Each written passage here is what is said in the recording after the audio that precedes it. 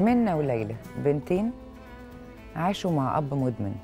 منا اكتشفت من زمان قوي إن أبوها مدمن وبقوا بيتعاملوا قدامها عادي. أبوها المدمن ده خلى أمها هي كمان مدمنة عشان تسكت على اللي بيحصل. راحت عشان تتعالج نفسيا. اكتشفت إن في بنات كتير جدا أبوها كده وعاملين جروبات على الواتساب وعلى السوشيال ميديا وبيشوفوا يعملوا إيه معاهم. لدرجة إن في منهم إخواتهم فقدوا يعني فقدوا النطق ما بقوش يعرفوا يتكلموا. من كتر الصدمات اللي شافوها ومن تعاملات أهاليهم معاهم. يا ترى يعملوا إيه؟ طب لو حد عايش في نفس الظروف دي ممكن يطلع كويس؟ ممكن يأمل الناس تاني؟ هيعملوا إيه؟ عشان كده منورنا النهارده دكتور حاتم صبري استشاري الطب النفسي وعلاج الإدمان عشان نحاول نتكلم في الموضوع ده ونشوف ممكن نعمل لهم إيه. إزيك يا دكتور؟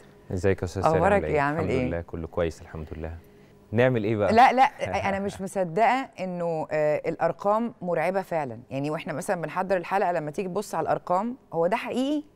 بصي هي للأسف يعني ده حقيقي ويمكن يعني حتة إن إحنا قلنا ده اكتشفت إن باباها مدمن ودي اكتشفت إن باباها مدمن. دي يمكن واحدة أصلا من المشاكل ومن أكتر العقبات اللي بتقابلنا في موضوع علاج النفسي وعلاج الإدمان. إيه اللي بيحصل عادة؟ اللي بيحصل عادة إن أي أم بتلاقي ابنها بقى مدمن تقول له إيه؟ إيه؟ أنا هجوزه عشان خاطر اطمن عليه عشان يتصلح خاطر حاله. ويتصلح حاله آه. فايه اللي بيحصل بيحصل بيجيب أسرة بتبوظ. حياتها كلها بتخرب مم. بسبب ال- الكونسبت ده اللي بيكون عند أمهات كتير للأسف أو عند يعني أسر كتير تلاقي الولد أول ما يبطل يعني أسبوع وغالبا يعني هو أسبوع وأسبوع تاني ممكن يرجع تاني لأن هو ما كملش علاجه وهو ما عندوش الإرادة الكافية في التوقيت ده إن هو يبطل إدمان. تلاقيهم يقولوا لي يا دكتور لا خلاص إحنا الحل إحنا عارفين. يعني إيه مدمن؟ يعني إيه مدمن؟ مدمن معناها إن شخص معين هو قرر إن يوجه حياته ويوجه كل شيء في حياته ناحية شيء معين. الشيء معين ده هو حياته كلها قايمة عليه. هو قايم نايم صاحي ما بيعملش أي حاجة في الدنيا غير إن هو عايش حوالين الشيء ده. طيب في طب لو أشياء أنا بشرب مرة تفاريح يا عم ده كل جمعة. سجاره واحدة يجرى إيه؟